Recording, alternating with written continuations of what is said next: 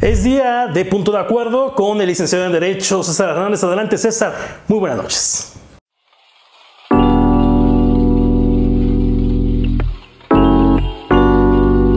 Amigos de TVMX Noticias, espero que se encuentren bastante, bastante bien.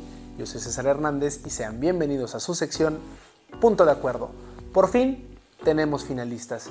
Y es que el Frente Amplio por México, integrada por el PRI, PAN y PRD, tendrá como abanderada a una mujer, la cual se decidirá entre la panista Xochil Gálvez y la priista Beatriz Paredes.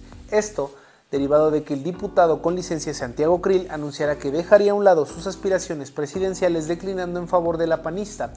Todo derivado de un supuesto pacto que entabló con su compañera de partido en donde quedaron de apoyar a la persona que obtuviera la mejor posición en las encuestas realizadas, en este caso Xochitl Gálvez. Esta sería la tercera vez en la que Santiago Krill fuera derrotado en su aspiración para ser el candidato a la presidencia de la República por parte de su partido Acción Nacional, ya que recordemos que en el 2005 y siendo secretario de Gobernación y a pesar de haber sido respaldado por el entonces presidente de la República Vicente Fox, la encuesta interna de ese partido arrojará como ganador a Felipe Calderón, Asimismo, en 2011 Krill volvió a levantar la mano, sin embargo el panismo decidió que su abanderada fuera Josefina Vázquez Mota. Ahora bien, si se consumara la ventaja que las encuestas tiene Claudia Sheinbaum, donde la colocan como el en el primer lugar de las preferencias entre los militantes de Morena, se convertiría en la candidata a la presidencia de la República por parte del partido en el poder, con lo cual estaríamos por presenciar un hecho histórico, ya que sería la primera vez que no habría un hombre al frente del Ejecutivo Federal. Esto a reserva del papel que juegue Movimiento Ciudadano en la presente elección. Según las encuestas y hasta antes del anuncio de Krill, la senadora Galvez había sido la aspirante mejor posicionada de entre los tres encuestados, con un 38% de las preferencias.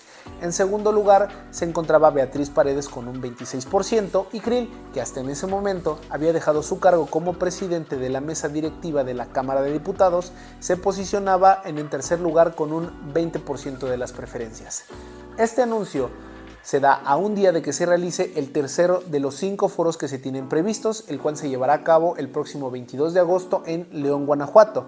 De ahí tendrá sede el cuarto foro en Guadalajara y por último en Mérida, Yucatán, entidad que por cierto es gobernada por el PAN. La alianza anunciará a la persona ganadora el próximo 3 de septiembre que tendrá la responsabilidad de la construcción del Frente Amplio por México. Todo mundo sabe que va a ser la candidata a la presidencia de la República. Sin embargo, se le puso este nombre para evitar infringir alguna ley electoral. Para elegir a la candidata se realizará nuevamente una encuesta sobre los dos perfiles finalistas y además de unas votaciones primarias en las que podrán participar las personas que firmaron para apoyar a alguno de los aspirantes.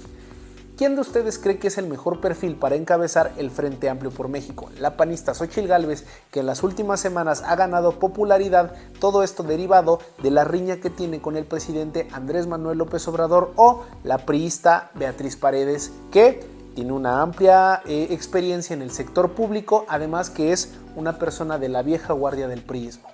Como siempre, ustedes tienen la mejor opinión.